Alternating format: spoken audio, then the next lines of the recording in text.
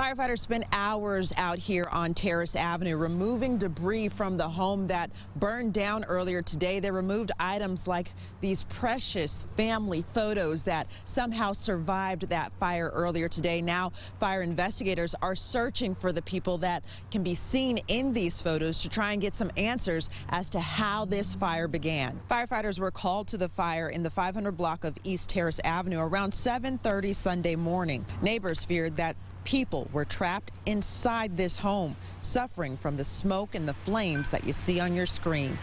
Firefighters doused those flames and went to work searching for any signs of life beneath what was left of that house. But they tell us that they found none. They say they continue to work putting out hot spots throughout the day and search for nearly three hours checking the basement and the first floor but they found no survivors, no victims of this fire. Neighbors said they were sending up prayers for the family who lived in this home. We spoke to one of those neighbors who saw the fire at its worst. There was nothing left of it. It collapsed down on the edge.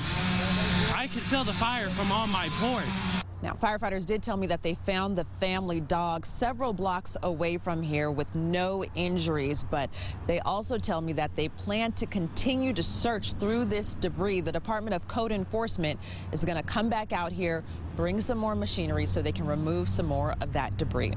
Reporting on the south side, Liz Adiola, RTV6.